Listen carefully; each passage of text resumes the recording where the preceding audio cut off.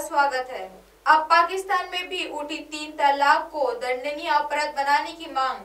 पाकिस्तान की एक इस्लामी सलाहकार समिति ने सरकार से कहा है कि तीन तलाक या तुरंत तलाक की प्रथा को पाकिस्तान में भी दंडनीय अपराध माना जाना चाहिए और इसके लिए सख्त कानून बनाने की ज़रूरत है।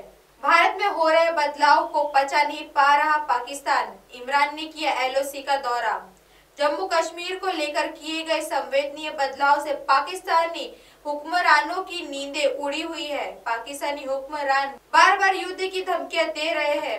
भारत द्वारा आतंकवाद के खिलाफ उठाए गए कड़े कदमों से पाकिस्तानी सेना के हौसले पस्त हो गए हैं।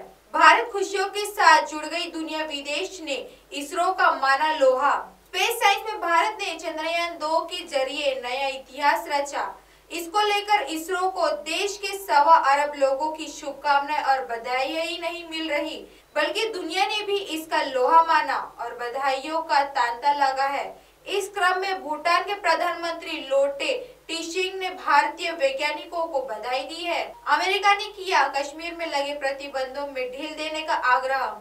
अमेरिका के विदेश मंत्रालय की प्रवक्ता मॉर्गन ऑर्डागस ने कश्मीर में प्रतिबंधों पर ढील देने का आग्रह किया है। उन्होंने राजनेताओं की नजरबंदी और कश्मीर में प्रतिबंधों में ढील देने का आग्रह किया है। मॉर्गन ने नजरबंदी और घाटी के कुछ हिस्सों में मोबाइल और इंटरनेट सेवा बंद किए जाने पर चिंता व्यक्त की है।